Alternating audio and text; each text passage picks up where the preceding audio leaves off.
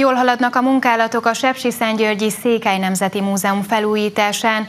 Idén karácsonyig befejeződhet az épület és az udvar korszerűsítése, jövő év végén pedig a nagy közönség előtt is megnyitja kapuit. Nem csak múzeum, hanem közösségi tér is lesz a Székely Nemzeti Múzeum, ha befejezik a felújítását. Bár a megnyitót csak egy év múlva, 2023. októberére tervezik, de megéri majd várni.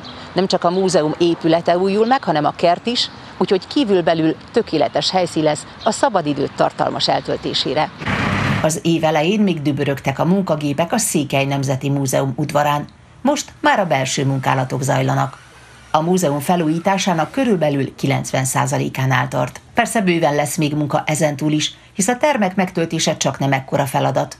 A kerten is látszik már végső formája, dr. Herceg Ágnes táj- és kertépítész tervei alapján dendrológiai park létesül, csak nem tízezer új növény beültetésével.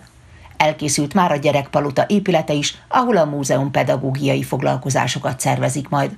A kertben játszótér is létesül, a megújult múzeumban nagy hangsúlyt fektetnek a jövő generáció jelenlétére. Több évtizedes nemzetközi tendencia, hogy a múzeum nem csak a tudományt szolgálja, hanem a szabadidő hasznos és emelkedettebb szintű eltöltését is. És ezt szeretnék mi is. Tehát nem csak a kiállítások, a gyönyörű tárgyak ö, ö, csodálata vagy ö, szépsége fogja bevonzani az embereket. Varga Mihály reményei szerint a gazdag programkínálattal akár duplájára is emelkedhet a múzeum látogatóinak száma.